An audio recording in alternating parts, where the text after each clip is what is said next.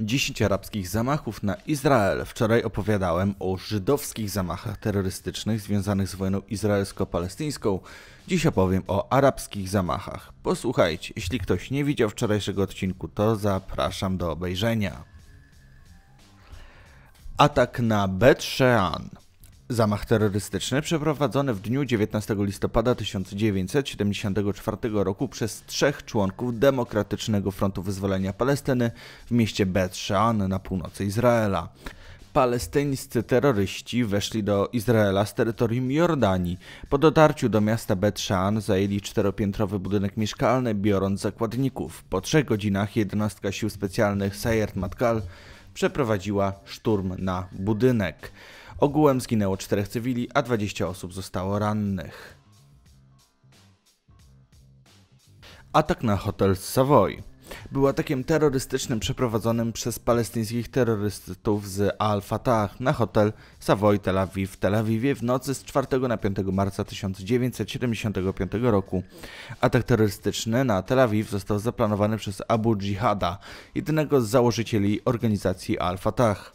Miał być to odwet za operację Wiosna Młodości, podczas której w Bejrucie i Sydonie zginęło trzech wysokich dowódców organizacji Czarny Wrzesień. W dniu 4 marca około godziny 23 na plaży w Tel Awiwie wylądowały dwie grupy palestyńskich terrorystów. Napastnicy byli uzbrojeni w karabiny kałasznikowa, pistolety, granaty ręczne oraz materiały wybuchowe. Po wylądowaniu na plaży terroryści weszli w obręb budynków i bardzo szybko stracili orientację w terenie. Podczas ataku na hotel zginęło trzech cywili. Wykorzystując zamieszanie trzem osobom udało się uciec, jednak większość pracowników i gości stała się zakładnikami. Gdy napastnicy usiłowali opuścić z zakładnikami hotel, powstrzymał ich izraelski żołnierz. Hotel został natychmiast otoczony przez izraelskie siły specjalne. W nocy 5 marca o godzinie 4.24 oddziały izraelskich komandosów Saert Matkal przeprowadziły szturm na hotel. W trakcie akcji odbijania zakładników zginęło siedmiu terrorystów, a jednego aresztowano. Strzelaninie zginęło pięciu zakładników. W kilka godzin po ataku marynarka wojenna Stanów Zjednoczonych zatrzymała na Morzu Śródziemnym statek, z którego terroryści przeprowadzili atak. Załoga statku została aresztowana. Atak na Nahariję. Zamach terrorystyczny przeprowadzony w nocy z 24 na 25 czerwca 1974 roku przez trzech członków Al-Fatah w mieście Naharia na północy Izraela. Palestyńscy terroryści przeniknęli na terytorium Izraela płynąc łodzią motorową z południowego Libanu. W strzelaninie zginęło trzech cywili i jeden izraelski żołnierz. Był to pierwszy atak, w którym terroryści przeniknęli do Izraela drogą morską. Atak na Eilat. Operacja palestyńskiej organizacji Al-Fatah mająca na celu atak od strony Morza Czerwonego na izraelskie miasto Eilat.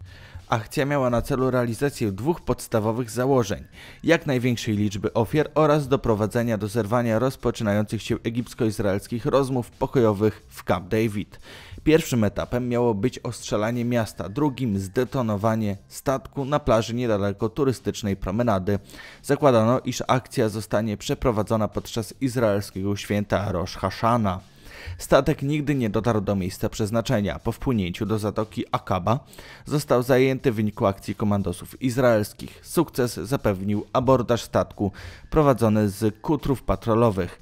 Do dziś nie ujawniono, jak Izraelczycy zdekonspirowali akcję Al-Fatah. Sądzi się, iż prawdopodobnie w kierownictwie organizacji zainstalowano agenta. Chciałbym zauważyć również działania Izraela i Palestyny, jak one się różniły. Palestyńczycy, czy ogólnie Arabowie, walczą za pomocą karabinów, bomb, ciężarówek wjeżdżających w tłum, a Izrael potrafi sparaliżować wrogą armię bez dekonspiracji agentów. O geniusze. Incydent w Zarit Shetula. Zamach terrorystyczny przeprowadzony rankiem 12 lipca 2006 roku przez członków Hezbollahu na patrol graniczny Sił Obronnych Izraela na granicy izraelsko-libańskiej w rejonie Moszawów, Zarit i Szetula na terytorium północnego Izraela. Terroryści Hezbollahu wystrzelili kilka rakiet na izraelskie miasto i pod ich osłoną przeniknęli przez granicę libańsko-izraelską.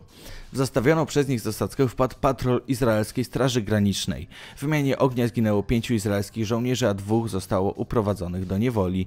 Kolejnych czterech izraelskich żołnierzy zginęło w nieudanej próbie pościgu i odbiciu uprowadzonych. Hezbollah zażądał uwolnienia libańskich więźniów przetrzymywanych przez Izrael w zamian za zwolnienie izraelskich żołnierzy.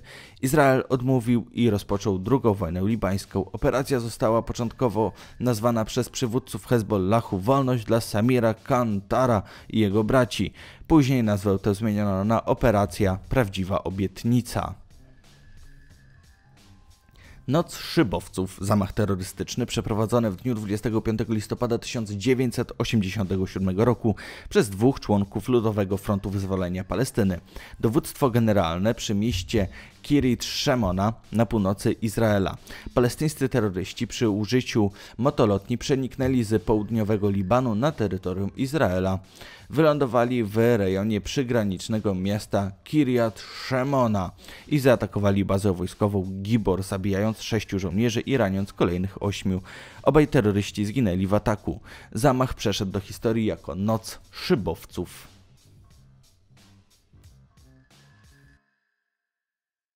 Zamach na autobus w Megiddo. W środę 5 czerwca 2002 roku palestyński zamachowiec samobójca przyjechał samochodem typu van Renault na skrzyżowanie Megiddo. W samochodzie znajdowało się kilkadziesiąt kilogramów materiałów wybuchowych. Zamachowiec zdetonował ładunek wybuchowy, gdy do skrzyżowania zbliżał się autobus. Do wybuchu doszło o godzinie 7.15 rano w odległości około 50 metrów od skrzyżowania. Bomba wybuchła w momencie, gdy autobus przejeżdżał przy samochodzie zamachowcy, dokładnie na wysokości zbiornika paliwa autobusu. Wybuch wyrzucił część pasażerów z autobusu, dzięki czemu niektórzy z nich przeżyli. Zniszczony autobus stanął w płomieniach. Przybyli na miejsce zamachu ratownicy nie byli w stanie wejść do wnętrza autobusu, gdyż panowała tam ekstremalnie wysoka temperatura. W zamachu zginęło 13 izraelskich żołnierzy oraz 4 cywili, a także zamachowiec samobójca. Ranne zostały 43 osoby, z czego większość stanowili żołnierze na przepustkach. Zamach w Kiryat Shemona. Zamach terrorystyczny przeprowadzony w dniu 11 kwietnia 1974 roku przez trzech członków Ludowego Frontu Wyzwolenia Palestyny, dowództwa generalnego w mieście Kiryat Shemona na północy Izraela. Palestyńscy terroryści weszli do Izraela z terytorium Libanu. Po dotarciu do miasta Kiryat Shemona zajęli gimnazjum imienia Janusza Korczaka. Było ono jednak puste z powodu przerwy w nauce szkolnej na czas żydowskiego święta Peszach. Zaatakowali wówczas sąsiedni budynek mieszkalny, zabijając wiele osób. Po przybyciu na miejsce sił wojskowych terroryści popełnili samobójstwo, wysadzając się. Ogółem zginęło 21 osób, a 15 zostało rannych. Zamach przeszedł do historii jako masakra w Kiryat Shemona. Operacja NTB Sama operacja była operacją izraelskich komandosów, ale ich celem byli zamachowcy arabscy. 7 czerwca 1976 roku wystartował z lotniska w Tel Awiwie francuski samolot pasażerski. 8 minut po starcie samolot został prowadzony i zmuszony do lądowania na libijskim lotnisku w Bengazi. Nikomu nie pozwolono wysiąść z wyjątkiem młodej kobiety w ciąży, którą zbadał libijski lekarz i stwierdził, że zachodzi ryzyko poronienia. Kobiecie lecącej na pogrzeb matki do Manchesteru pozwolono wysiąść na pokład samolotu do Anglii. Po długim oczekiwaniu na położonym na pustyni lotnisku w zatankowano 42 tony paliwa i wieczorem o 21.50 samolot wystartował do Entebbe w Ugandzie. Porywaczami było dwóch członków Ludowego Frontu Wyzwolenia Palestyny, zaś w Ugandzie rządził szaleniec Idi Amin. Nie wiem, czy zauważyliście, ale są zwolennicy Izraela, są zwolennicy Palestyny, są faszyści, neonaziści, czciciele Mussoliniego, Hitlera, nawet wielbiciele Stalina i Związku Radzieckiego. Są fani Castro czy Pinocheta, ale nigdy, przenigdy nie natrafiłem na zwolennika Idi Amina. Wojska izraelskie zamiast bawić się w negocjacje, jak to mają w zwyczaju współcześni przedstawiciele zachodni, postanowiły wziąć sprawy w swoje ręce.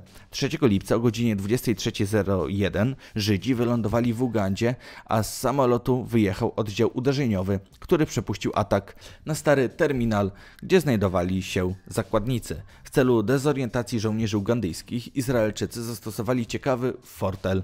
Jako pierwszy samochód z ładowni wyjechał czarny Mercedes, taki sam, jakiego używał Amin. Wprowadziło to chwilową konsternację, dzięki czemu Izraelczycy zyskali efekt zaskoczenia. Rajd ten trwał 3 minuty, licząc od chwili lądowania samolotu. Kolejne oddziały izraelskich komandosów stoczyły bitwę z żołnierzami ugandyjskimi i zajęły kluczowe pozycje na terenie lotniska. W ataku zginęło dwóch zakładników, a siedmiu zostało rannych. Śmierć poniósł dowódca izraelskich komandosów. I teraz zobaczcie, jesteśmy obywatelami Polski. Porywają was Arabowie. I co? Rząd nie chce negocjować z terrorystami, bo z terrorystami się nie negocjuje, ale też nie zaatakuje, żeby was wyzwolić, bo to zbyt brutalne rozwiązanie. Tak zginął przecież Stańczak w Pakistanie. Opowiadałem o tym na kanale Światowa Historia. A taki Izrael, w momencie, w którym Żyd jest porywany przez terrorystów, to ci terroryści stawiają na swoim życiu krzyżyk. To jest pewniak, że oni nie odpuszczą i nie mówię, kto ma rację w tej wojnie, a kto nie, ale moim zdaniem każde państwo powinno tak walczyć o swoich obywateli, jak robi to Izrael. Masakra w Monachium, atak terrorystyczny w czasie letnich Igrzysk Olimpijskich w Monachium w 1972 roku, kiedy to członkowie palestyńskiej organizacji Czarny Wrzesień wzięli za zakładników 11 członków izraelskiej drużyny olimpijskiej. W efekcie zamachu Palestyńczycy zabili 11 izraelskich sportowców i trenerów oraz jednego oficera niemieckiej policji. Pięciu z ośmiu terrorystów zostało zabitych podczas próby odbicia zakładników. Trzech pozostałych przy życiu terrorystów schwytano. Zostali oni uwolnieni przez RFN w następstwie porwania przez Czarny Wrzesień samolotu pasażerskiego linii Lufthansa. Odpowiedzią Izraela na zamach były operacje Wiosna Młodości Gniew Boży, o którym opowiadałem w poprzednim odcinku i opowiadam na kanale Światowa Historia.